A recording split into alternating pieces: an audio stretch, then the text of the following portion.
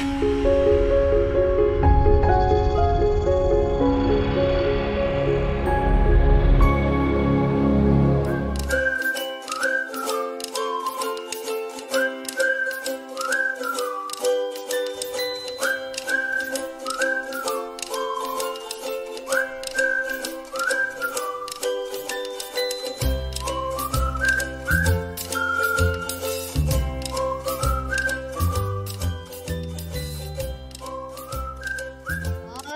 first step I did was to make the players.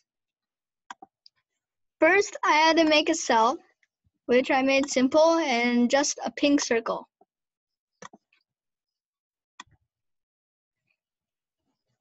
Uh, I named this the cell.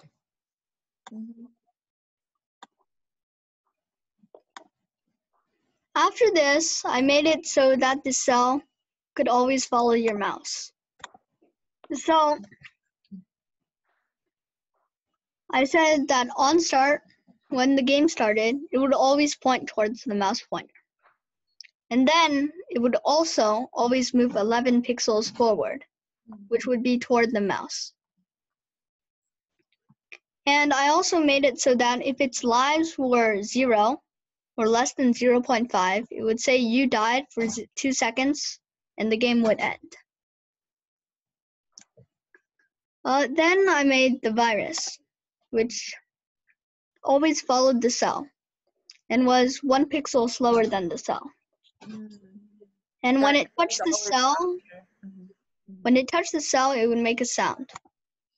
So when the touch sensed that it touches touched the virus, it would change its lives by negative one, which would kill itself one time and respawn at a random position. When the virus touched the cell, it would make a noise.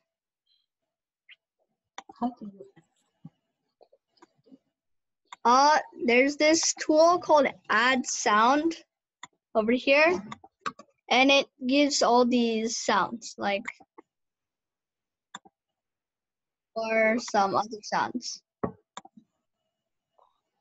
Tynker.com is basically a block coding, so you have all your commands over here.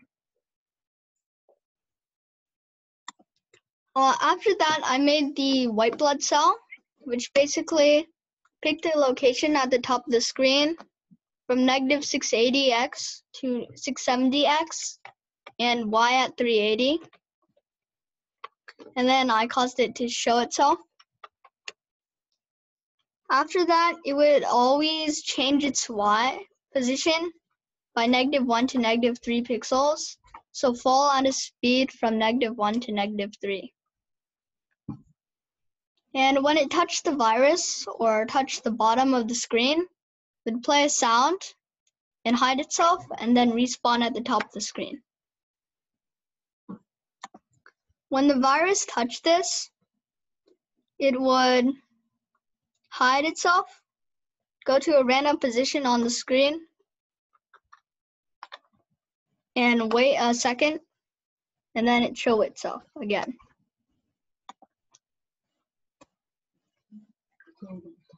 Uh, after that, I made an antibody, which moved 8 pixels and always pointed toward the virus. And it would always uh, go to a random position on the screen at the start of the game. Uh, also, the antibody never can die in the game. Uh, then to make uh, the game have an objective, I made these health health drops, which would always check if your health level was over 100, and if it was, it would say you won for two seconds. And so when it touches the cell, it will play a sound, go to a random position, and change your health level by one, which increases it.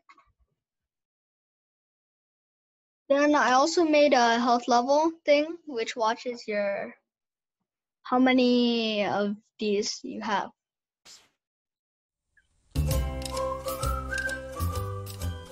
After that, I made a variable, which I just did this. Uh, I made it a global variable, reset it on stop. And this basically watched your lives for the cell and for the others.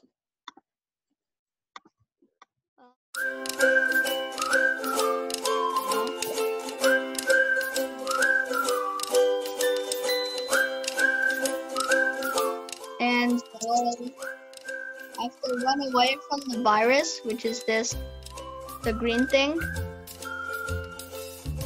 And the virus gets killed by the antibody by the white blood cell.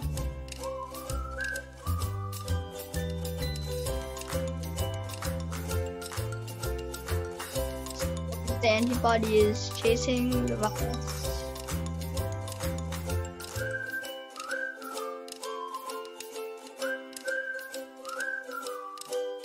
So every time I these heart thingies, it will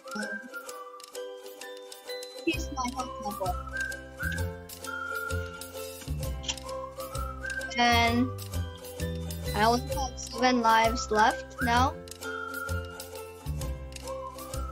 I need to get 100 to win.